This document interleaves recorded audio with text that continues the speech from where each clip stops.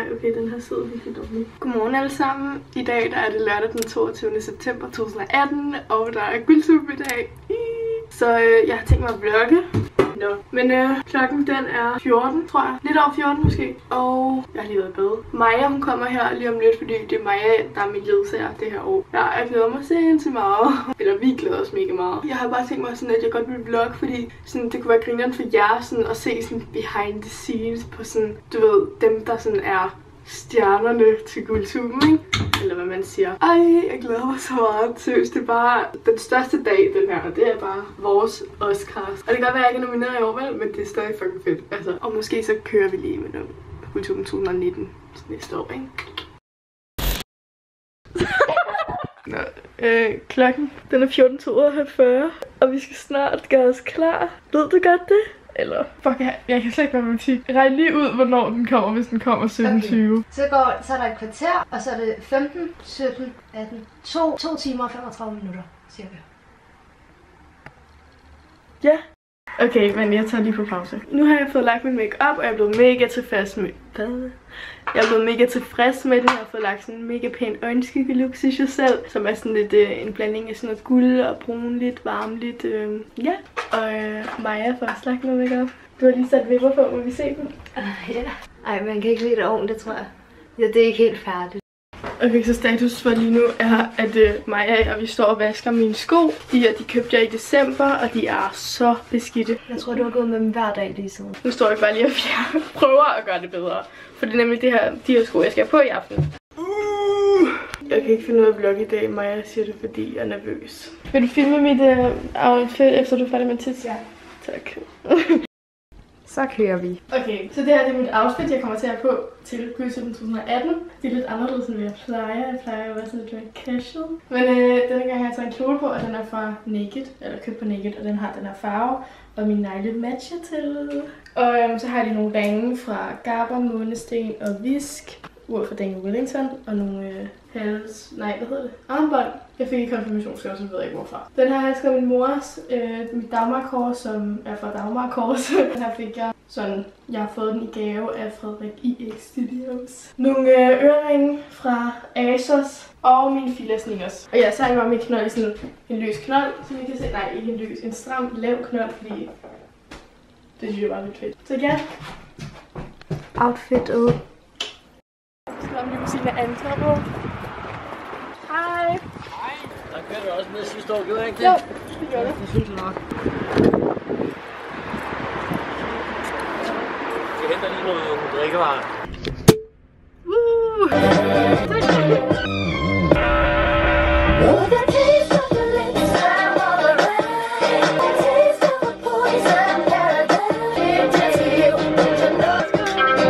That came on and it shook up my life.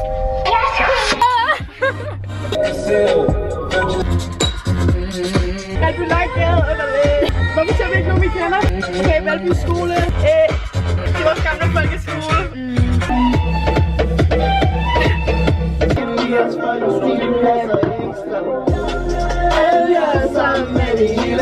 Casey, jeg elsker dig.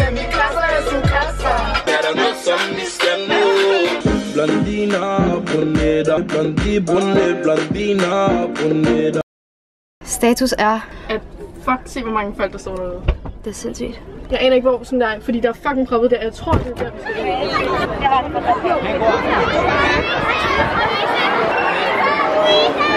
Hvor er det, vi skal ind henne?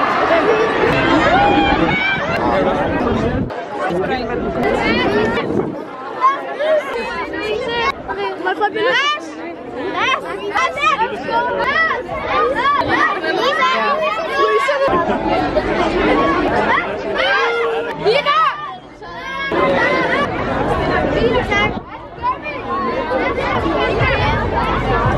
Bora, cara.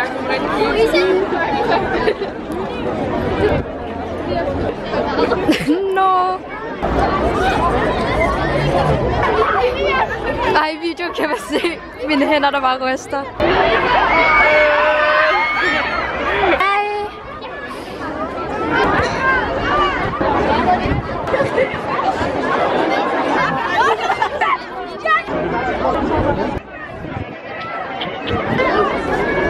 Hvis det rystende klip var før, så fordi mig frøs jeg lige givet en jakke. Jamen, jeg er også, det er helt, ej, det er mega mærkeligt, at der er så mange. og sådan noget.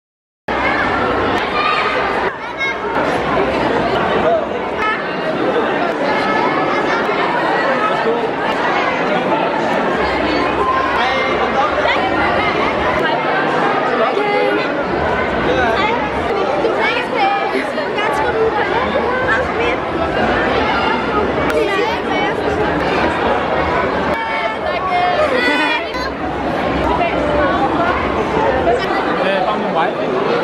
Også. Kan jeg nok jer derinde? Nej. Jeg har bare fået besked, jeg skal filme det hele. Nu gør vi, men ikke bare kommer til showet starter. Hallo!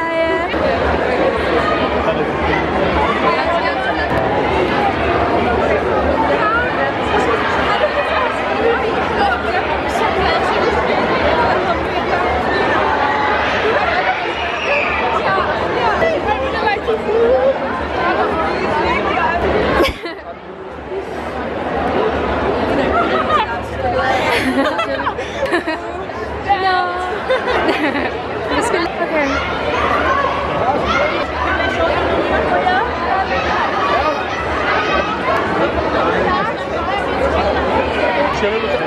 Ja.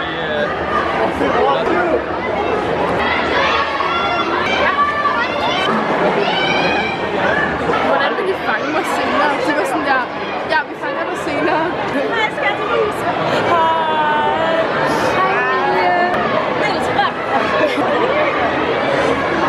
Jeg aner ikke, hvor vi skal hen.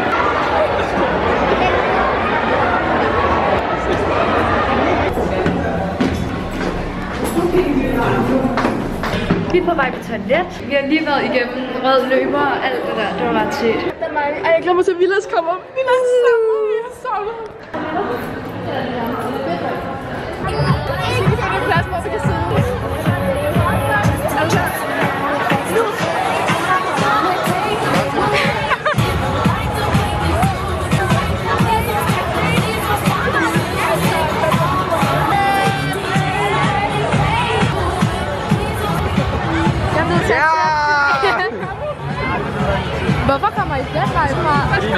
Vi, er- vi har stået der, vi har ikke fundet noget. Sådan. Jeg vil lige de her to igen. Ny dag, ny blok.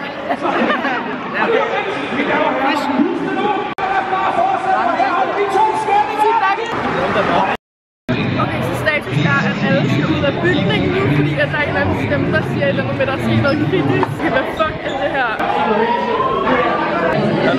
Hvordan gør man for at få gang i showet igen? Det ved jeg ikke. Altså, man, kan man, tager man så bare alle ind, så kan alle løbe, og de komme ind. Ja. Hvad fuck er der? Hvad fuck er der? Jeg er også lidt Jeg vil gerne have mad. Okay, vi er kommet ind igen, og der er ikke noget. Det var bare fordi, at der var sådan en popcorn, der åbenbart brændte af. Så Ja. Du klipper, du klipper alt væk, jeg var med der. jeg sætter lidt af kære, som altid. Vi stod i det der crowd, altså der, hvor alle vores følgere står. Var, så var vi nødt til at hoppe over hegnet, og ja, vi lavede sådan lige taget en bakke. Hvad skete der? Hvis Nikolaj ikke havde været der, ikke? Hvis Nikolaj ikke havde været der, så havde det været fuck. Jeg hedder Alexander. What? Ej, fuck, jeg kom til at kalde ham Nikolaj. Boskov. Hvad kan jeg det er rigtigt. Nå, nu er vi lige kommet ind i bus. Vilas vil gerne sidde bag os. Hvad er det for noget, Vilas? Ja. Vilas, du skal sidde her, hvor festen er. Nå, men Nå, jeg hvert fald så sidder vi i den her partybus, fordi at vi skal videre til afterparty, og det bliver fucking øh. Mm. Nå, og alle øh, de render rundt herude som forvirrede høns.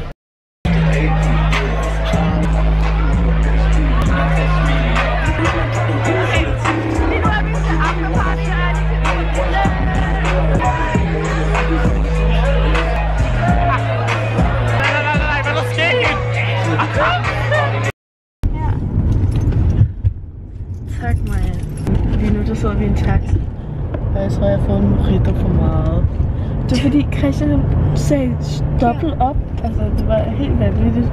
Bare give flere. Ja. Tak, stupid ågårds. Og så skulle vi ind i den her taxi, så kom der sådan en irriterende voksen. Sådan, vi bare har fast. Så lige nu, der kører vi Maja hjem, og så skal jeg hjem. Og så tror jeg bare, jeg skal... sove. Skulle du ikke købe mad i? Nej, fordi det har jeg jo spist. Blady kom med cheeseburgers og chili cheese tops til alle. Så det var vildt lækkert, og det er bare en tradition, de har hver fest. Nu vil vi bare sige tak, fordi I så med i den her vlog. Jeg håber, I kunne lide den, og at I sådan har fået et indblik af, hvordan det er at være det her